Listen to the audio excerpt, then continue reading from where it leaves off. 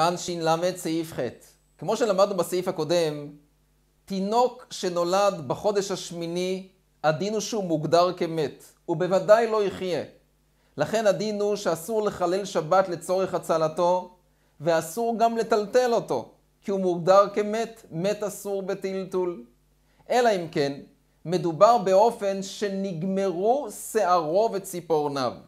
כאשר הצורה החיצונית שלו הושלמה, אז באופן כזה שיטת השולחון אורוך, שלא רק שמותר לטלטל אותו, אלא מותר גם לחלל שבת לצורך הצלתו. כי כאשר נגמרה צורתו החיצונית, אז הוא מוגדר כחי. הוא מוגדר כחי ומותר אפילו לחלל שבת לצורך הצלתו. הגרו חולק על זה, הגרו סובר שאסור לחלל שבת אלא אם כן הוא חי 30 יום מאז שהוא נולד, אבל שיטת השולחון אורוך, שמספיק מה שנגמרה צורתו החיצונית, נגמרו שערו וציפורניו, בכדי שיהיה מותר לא רק לטלטל אותו, אלא גם לחלל שבת עבורו.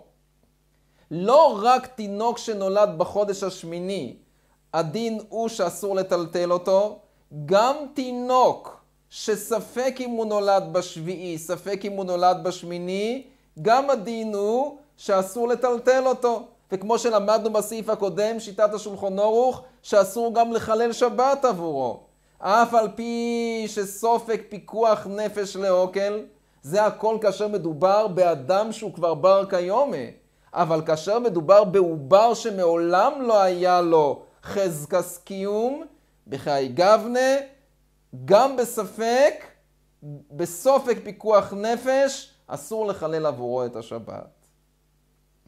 סעיף שלנו בסעיף ח' נלמד בעזרת השם שאומנם תינוק שנולד בחודש השמיני, או אפילו תינוק שנולד בספק שביעי ספק שמיני, ולא נגמרו שערו וציפורניו, שהדין הוא שהוא מוגדר כמוקצה והוא אסור בטלטול, אבל לצורך האם מותר לטלטל אותו.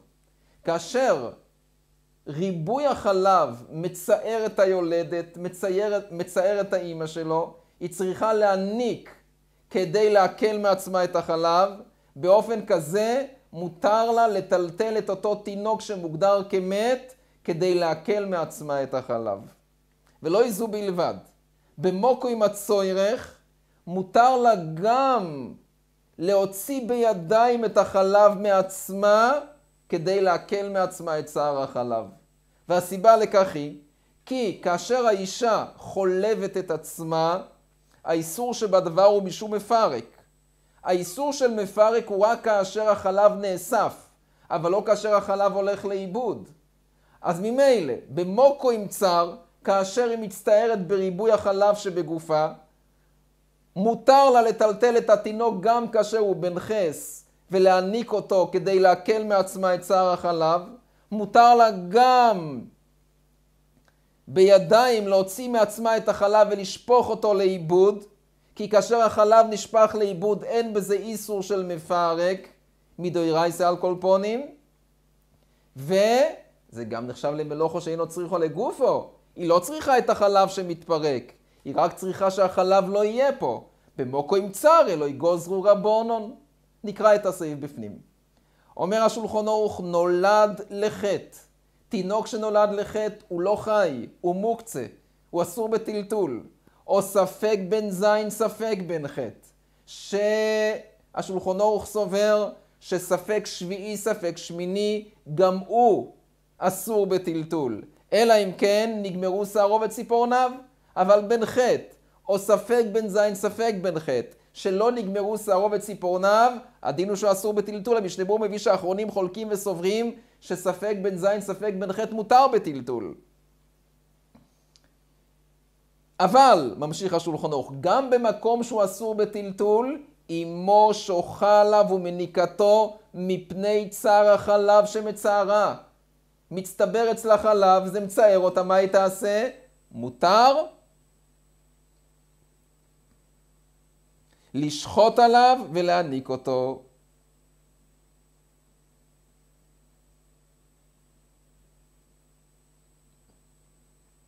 וכן, היא בעצמה יכולה להוציא בידיה החלב המצער אותה.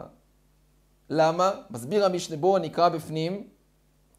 להוציא בידיה על הארץ. דאין זה כדרך מפרק, כיוון שהולך לאיבוד, ועוד דאה ומלוכו שאינו צריכו לגופו, דפוטור, ומשום צרה לא יגוזרו. משום צר, התירו חז"ל לשפוך את החלב לאיבוד, או מלוכו שאינו צריכו לגופו. דהיינו לפרק מעצמה את החלב,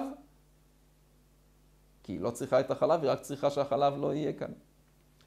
נמשיך לסעיף הבא, סעיף ט'. מיישרים איברי הבלד שנתפרקו מחמת צער הלידה. מה החידוש? שזה לא נחשב לתיקון. המוגן אברום מביא שרק ביום הלידה, לא אחר כך, אבל משנבור מביא שגם אחר כך אפשר. המשנבור מביא שלסדר את חוליות השדרה זה אסור. רק ליישר את האיברים מותר. מותר לכורכו בבגדיו כדי שלא יתקמו איבריו. כדי שלא יתקמו איבריו, מותר לכרוך אותו בבגדים. המשתבור מביא בשם הראש שגם ליישר את איבריו על ידי כריכתו בבגדים, הדין הוא שמותר, כיוון שגם בחול עושים כך. אין אוכל נמי, אם לא רגילים לעשות כך בחול, אז בשבת גם יהיה אסור לעשות. אם נפלה עורלת גרון הוולד, הלשון שלו נכנס פנימה, מותר לשום אצבע לתוך פיו של התינוק, מותר לאדם גדול להכניס אצבע לתוך פיו של התינוק, ולסלק העורלה למקומה, אף על פי שפעמים מקיא. המשתבור מביא שהחידוש כאן שזה לא נחשב לרפואה. זה לא נחשב לרפואה בשבת שאסורה.